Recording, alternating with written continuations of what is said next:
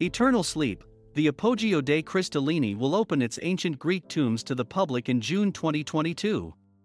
Deeper underground, the site includes the original Necropolis Road, which was outside at the time.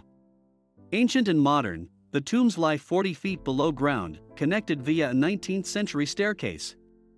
Bedded down, the bodies were laid to rest in sarcophagi shaped like beds.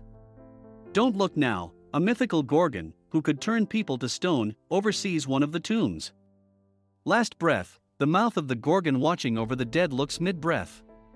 Stairway to the Underworld, a 19th century staircase was built to access the tombs. Ancient upcycling, Romans carved niches in the chambers to fit funerary urns after the Greek period. Fake views, the tombs are equipped with stone beds with trompe l'oeil painting. Roll call, names scrawled on the walls are thought to list the dead buried in the tombs. Pillow talk, stone pillows were carved from the soft tuff rock and painted turquoise, yellow and red. Deep sleep, bodies were placed inside the beds. Sole outsider, the Gorgon is the only element not dug out from the hillside, instead, it was carved and mounted on the wall. Soft rock, everything from the chambers to the fake ceiling beams is sculpted from the friable rock.